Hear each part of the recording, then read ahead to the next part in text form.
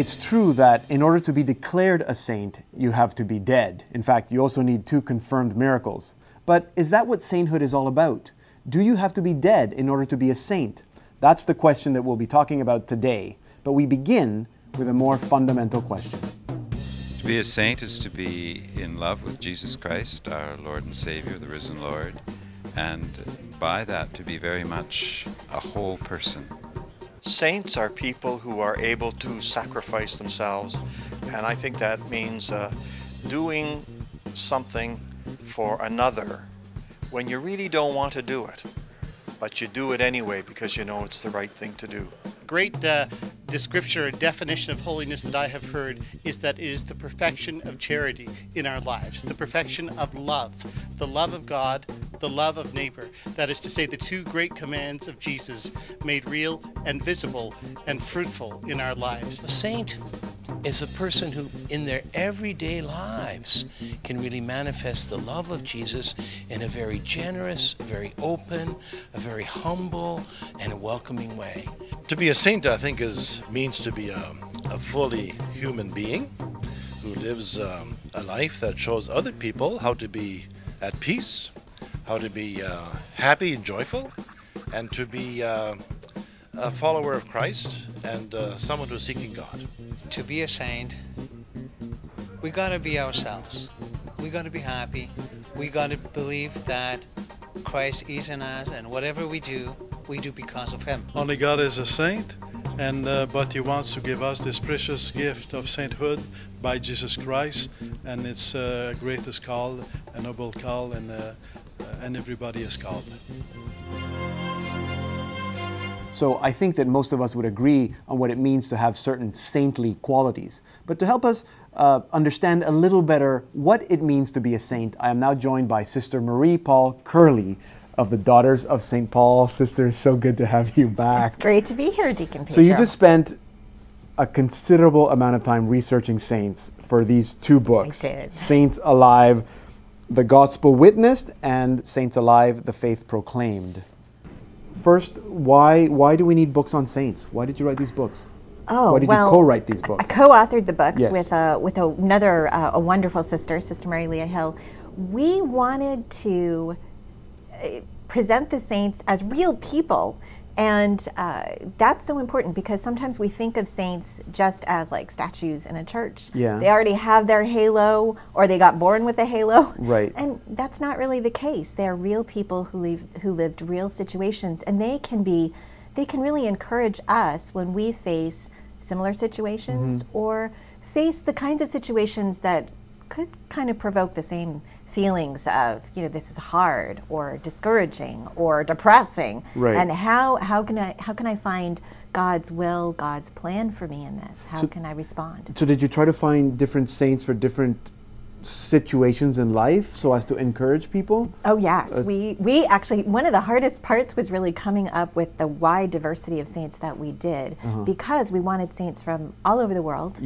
Yeah, for sure, different all cultures. cultures, and also uh, saints from all different walks of life who struggled with really different issues. Right. So, for example, we have um, venerable Matt Talbot. Yes. Saint, sa- you know, patron of really of people struggling with alcoholism and addiction, Right. and he's wonderful. But he's such an understated saint. I, I don't think uh, Well, not a lot he's of not people even have heard about yeah, him, and he hasn't. yeah. He's not canonized yet. Um, and so, really picking saints, especially people who were lay people, because there's a lot of people who think, oh, holiness, it's for the priests and the nuns yes. and the deacons. Yes. Um, but but not for the regular person, not, not for the regular Catholic in the pew. Yes, I know, But I know. that's our call. Okay, so why uh, gospel witnessed and gospel proclaimed? Is that what sainthood is about? Yes, absolutely. Um, Proclaiming the gospel. Proclaiming the gospel and living, well, to proclaim it, the first way of proclamation is living the gospel. Okay, So yes. that's the first kind. Um, but then also, uh, we also talk about the faith proclaimed in, a, in the sense of the Beatitudes. Mm-hmm. You know, we matched. Uh, this was fun too, matching a saint with To a a beatitude, beatitude, yeah. and matching a saint with a sacrament. Yes. Because Yeah, really, yeah. the sacraments are the way that, the ordinary way that Catholics receive grace in Mm-hmm. our lives. Uh, And we have sacraments for all the important moments of our lives, and then we have the sacraments that help us, you know, daily or weekly or monthly on our journey, like the sacrament of reconciliation or mm-hmm. participating at Mass. And so we sometimes don't think, well, how did the saints receive the grace from the sacraments and how did they Right. live that? Right. And it actually, you know, I thought, how am I going to find a saint for confession? It wasn't very hard. Right. I had to actually whittle it down. I had a lot of contenders for the sacrament of reconciliation. and, and it's more than just some person who loved going to confession. Yes, yes, Okay, absolutely. yeah. For saints who um, who really took the grace of the sacrament and let it blossom in their lives, Right. let God really work in them. So great confessors, and then uh, and Yeah. then those who use the grace of the sacrament. So Now, Pope Francis recently uh, uh, granted an, an exclusive interview interview to a, a series of Jesuit publications, and he said that he associates sanctity with patience. I love this. Uh, with the day-to-day patience of, of, of living, the mother who's patient with her sick child, or the father who, who works every day, day in and day out, to bring bread to the table. Is that what you mean then by by saints who were ordinary, who lived, yeah. you know, lay people living day-to-day lives? oh yes, absolutely. So how is that saintly? Oh, because it's something. Uh, it's something we all are called to live those daily moments in our lives. I mean, we're all we're living them, and so they're God's gift to us. And so, how do we live that as as God's gift? Uh, I think that the you know the life of the Holy Family, the hidden life of the Holy Family, is really a great mystery that we don't think about a whole lot. Uh, you know, Jesus and Joseph and Mary, they lived just the ordinary home life, carpentry, uh, woodworking, Yeah. uh, you know, really humble stuff. And that was, they did that for 30 years, a hidden life. And so, that, if that's what the Son of God did, that's definitely how we're called to live holiness too, in the little stuff of our lives. So, but okay, let's let's unpack that a little bit because I, I get the day-to-day drudgery, which for a lot of people that's what it is, or the mundaneness of, of getting up at five in the morning every day and, and, and getting your kids to school and making lunches and like it's just to get repetitive and trying to figure out what to have for dinner every night and driving kids to sports or whatever people do. Some people, the single parents that work two jobs that's I, that's ordinary that's drudgery that's hard Mm-hmm. how does that because we have to not just live that we have to do something with that in order for that to allow that to transform us We have to live it with love. It's, it, the secret of sanctity, of course, simple. Is, is love, right? How simple. um, we, I mean, when we look at when we look at God, Father, Son, and Spirit, and the, the communion of love, that's the kind of love that that self, that giving of ourselves um, in love to God and to, to others.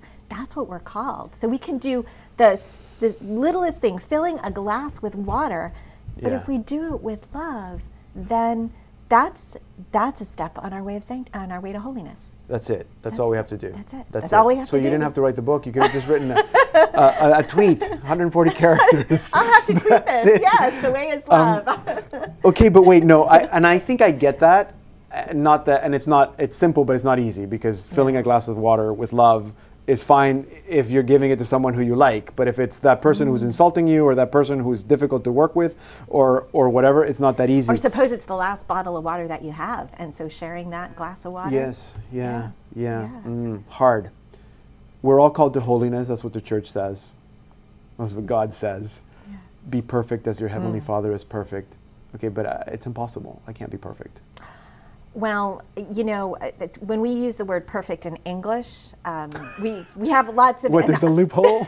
he actually didn't mean perfect. No, of course, of course, I, I stand by the word of God. But uh, perfectionism is something that we often. Like it's, it's kind of a default. Oh, that a lot like perfect meaning into. like I don't make mistakes. Exactly. Okay. That's not the kind of That's not what does it about. mean. Perfect means living in union with God. Perfect means living that life of love, um, intending to do the best. It doesn't mean that we're going to have the perfect interview today Okay, no, without it's so any far without any perfect. stumbles. um, but but it does mean that what we do, we do with integrity. We do with love. We do with a desire to serve, uh, a desire to uh, to bring about good for others. And so that yeah, I think that really kind of sums it up. It's not a perfection. It's not an absolute perfection. It's the perfection of who we are, becoming more and more who So we then, are. so then I can achieve that perfection in this life? Because we do believe that we will have full perfection in heaven. in heaven. I would say, and, and this is a trap that I fall into. I don't know about you, Deacon Pedro, but holiness is not something to achieve. It's something to let God bring about in us because it's really about our relationship with God. Yeah. You know, if we know how loved we are, really loved, cherished, delighted in by the Lord, and then we're able to let that grow in us and then share that with others and help them to know that they're loved, I I really believe that it, you know that's that's the working of the Holy Spirit, and Mm-hmm. it brings about that that deep happiness and fulfillment, even here on this earth, um, but then to be perfected in heaven. No, it's true. That's, we that's a can't good- do it on our own. It's a good reminder. It's hard because I mean, even with St. Paul, that we run the race and we have fought a good fight. I mean, it's very goal oriented, and and there's nothing wrong, I suspect, with having heaven as our goal. Oh, no. But it's not something you know. I did that. I did that. I did that. I did that, and therefore uh, my reward is. It's not quite. Doesn't quite work that way. So it's a good reminder. We're going to take a little break. So don't go anywhere. Don't go anywhere. We're going to be right back. And we, when we come back, we'll continue having this conversation about what it means to be saints, and we'll also give you some practical suggestions. So stay tuned. Let us know your perspective. Email us at perspectives at saltandlighttv.org or reach us by mail. Perspectives at Salt and Light Television, 114 Richmond Street East, Toronto, Ontario, M5C 1P1. Or call us toll free at 1 888 302 7181. Let your perspective be heard.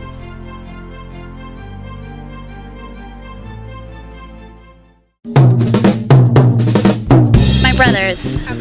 Because they are caring, they're loving, and they know how to treat everyone with respect. My grandmother. Because she was a very good person when she was alive. But she just helped a lot of people, made sure everybody was fed and stuff like that. She's a very nice woman. For now, my mom, my expert, yeah, because she's single mom for like nine years, and she's uh, she's, been raising for like uh, three of us, like my, my brother and me. So she's the most inspiration, uh, top person for now, for me. My mom.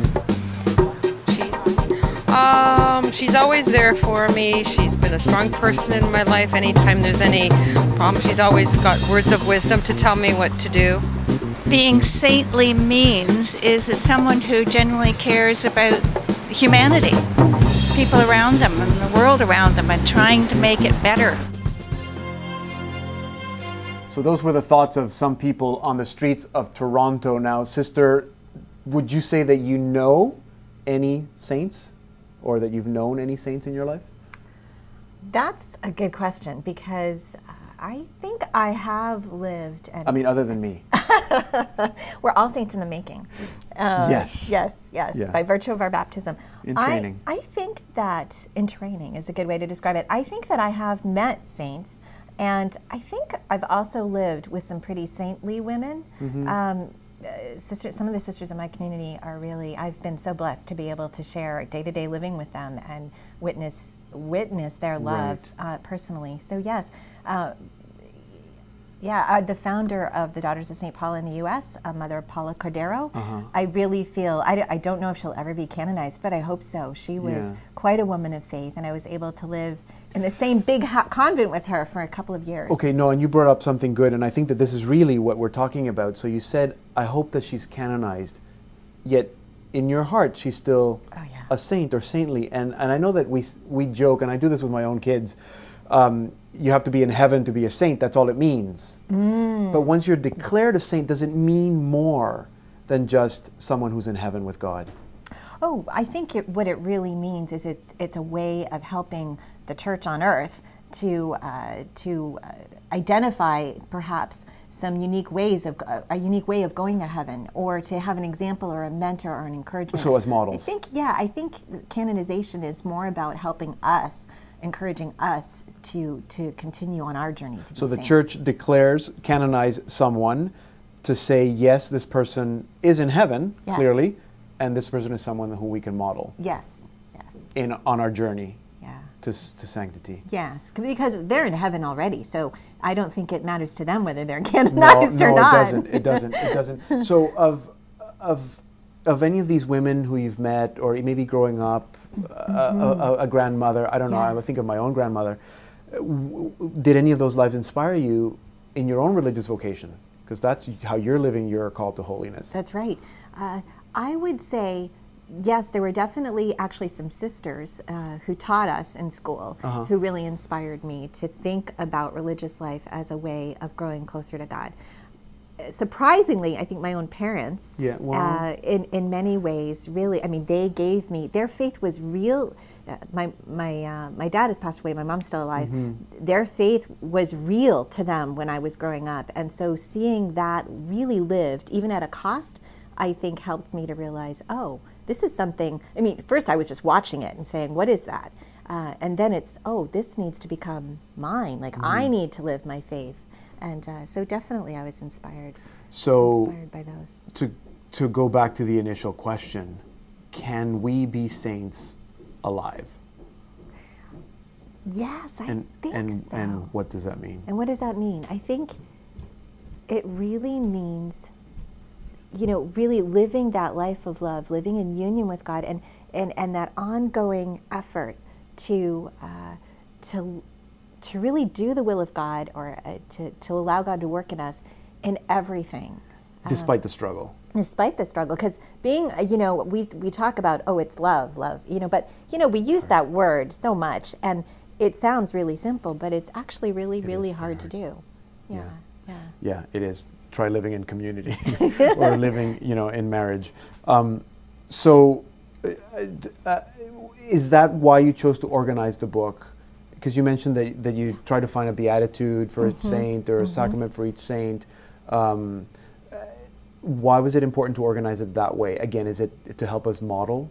yes yes to help us to to, to unpack the well the beatitudes we just don't unpack enough i think No. as, as catholics we they're just i mean they're the perfect portrait of jesus how he lived on earth but uh, there's some they're, they're we're called to live them too and yet sometimes they can seem a bit abstract or they can seem impossibly high Yeah. to reach and so it was just it was neat to be able to do that um, one of the other things that we do with the books is uh, our, the stories of the saints are novelized like they're really stories Yeah, yeah, yeah. they're not. Yeah, no, it's we, very you know well we, written. we added dialogue i mean we, we weren't The writers are, are pretty good on this book. Thank yeah, you. yeah, it's well written. um, It but is. we, we had, you know, we, we didn't, we actually weren't there when, uh, you know, St. Francis was trying to decide what he was going to do with his life. We don't know exactly Right, what so he you said to his dramatized it a parents. little bit, yes. So we added a little dialogue in Yes. so that we could see these are real people with real lives it off the in, page, in yeah. real circumstances. Now, some of the saints lived very heroically and, um, you know, especially like a Mm-hmm. martyrdom. yeah. Um, and some people would say religious life is very heroic, and if we really live it to the full, I say this as a sister, if I really No, live it to the full, it's a heroic. Married life, I mean, true, it's sacrifice and it's martyrdom to a certain degree. Absolutely, Yeah, yeah. absolutely. But we try to focus, you know, some of the stories are about the big moments, and some of the stories are about the little moments. Mhm. You know, uh, doing something, you know, even though I've been doing this for a long time and I'm tired of doing it, Right. and it's really getting hard. And no, but that it's that fidelity, that loving fidelity. Okay, so we've we've mentioned a lot of this, uh, which is good, but maybe just to summarize. So, what are some practical things that people can do if they want to take this call to holiness seriously while they're still alive? okay, well, we're still alive. Okay, good. And you've mentioned love, yes, but uh, filling a glass of water with love, yes. But what are uh, some other practical things? Uh, I think that I, I think focusing on the ordinary, finding God and God's invitation to us Mhm. in the little, in the ordinary day-to-day moments of our lives is really key. Um, believing that God has a plan for us, even for today. Uh, he has a plan. He, he has something. If, if we're here, he has something for us to say, and whoever's listening, he has something for, them, to, listen, hear, yeah. you know, and or to share. Perhaps maybe it's not for Mhm. you, maybe it's not for the listener, but it's for the person the listener will be talking to. Yes. Um, so th- there's there's God's invitation in the little moments. So paying attention to the details of our lives that you know don't fluff them off. There, Right. that's the moment where God can can be present and can be inviting us to something. Mhm. Um, secondly, and this is the hard one. Well, none of it's easy, but the hard thing is when we do have something to suffer, to be able to uh, offer it with love, to be able to maybe in a way unite it with Jesus' Mhm. sufferings on the cross, knowing and looking for uh, in faith for the ways that it can bring new life to us Mhm. and to those um, whom we're called to, to serve or that we're called to even offer our sufferings for. Um, looking, you know, it's the, living the cross isn't easy, but it is a part of following Jesus more closely. Yeah, a huge part. that's what yes. holiness is about. Yeah, because living the cross is not easy, uh, but it's an important part of following Jesus more closely. Jesus. Very true, because we sometimes people say, you know, offer up suffering, and we don't really know what that means. But offering it as a sacrifice, because when you when we suffer in love, it becomes a sacrifice, and then that's redemptive. Yes. I think so. Um, in fact, to the point that people who suffer in love don't see their suffering as suffering; they just see it as love. Yes. Um, We need to finish here, but we always leave the last word to the one who is the word. Absolutely. And so we're going to uh, conclude by listening to Matthew chapter 5, verse 1 to 12. Wonderful. I'm sure you're familiar with this passage. When Jesus saw the crowds, he went up the mountain, and after he sat down, his disciples came to him. Then he began to speak and taught them, saying, Blessed are the poor in spirit, for theirs is the kingdom of heaven. Blessed are those who mourn, for they will be comforted. Blessed are the meek, for they will inherit the earth. Blessed are those who hunger and thirst for righteousness, for they will be filled. Blessed are the merciful, for they will receive mercy. Blessed are the pure in heart, for they will see God. Blessed are the peacemakers, for they will be called children of God. Blessed are those who are persecuted for righteousness' sake, for theirs is the kingdom of heaven. Blessed are you when people revile you and persecute you and utter all kinds of evil against you falsely on my account.